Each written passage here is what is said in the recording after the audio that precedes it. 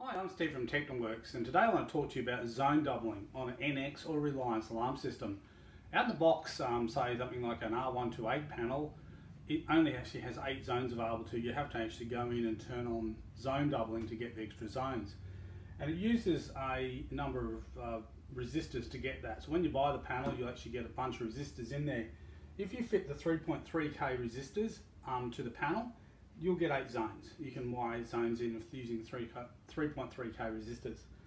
If you use the um, zone doubling resistors, you get two lots of resistors. You get a 3.74 and you get a, a 6.98 resistor.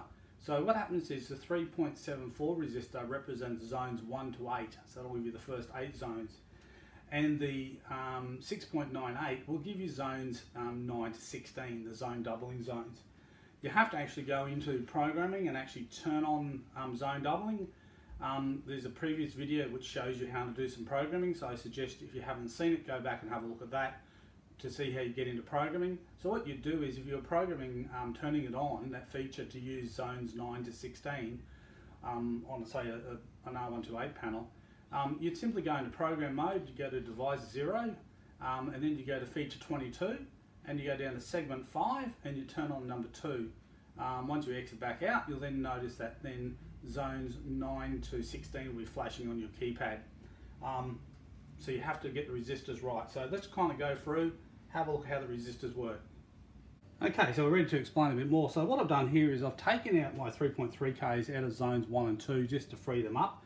And I've also gone into programming and I've actually turned on zone doubling in the uh, programming which now is giving me exactly what I'd expect on the keypad. I've got zones 1 and 2 um, in alarm and I've got zones 9 to 16 flashing as well. So that's what I'd expect to happen with that, um, so, you know, with that programming um, change in there.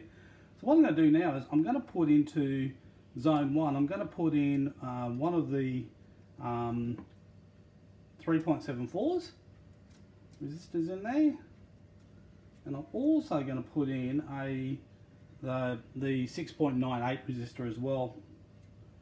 Put that in there. So you can actually see this is actually going in parallel. So both zones are both zones are wired into the same set of terminals. So zone 1 doubles up as zone 1 and zone 9 when it's zone doubling. So now with that in there, now I've got zone 1 is sealed. And I probably just need to put a bit more pressure on that one. And then we'll get zone 9 sealed. So one and nine are actually now working off this, this um, two resistors. So it's quite a simple system.